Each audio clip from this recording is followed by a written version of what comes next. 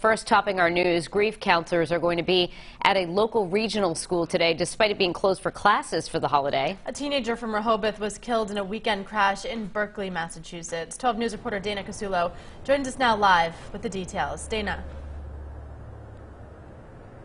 Good morning. Well, according to the Bristol County DA's office, 16-year-old Dylan Quinn died when the car he was in crashed into a telephone pole and also a tree.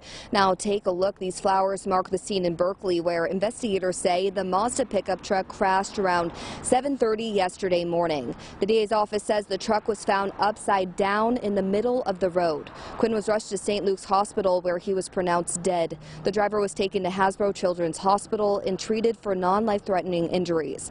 The victim was a student at the Bristol Plymouth Regional Technical School in Taunton. The superintendent there notified the community about the death on Sunday night and released this statement. We are all deeply saddened to hear of this tragic loss. Our thoughts and condolences go out to the family and friends of this student and the entire school community. Now, counselors will be at the school today in the cafeteria from 8 to 12 to talk to everyone who's grieving, and they will be there in the coming days for people who need more support. And the cause of this investigation is ongoing. Live in Taunton, Dana Casulo, 12 News.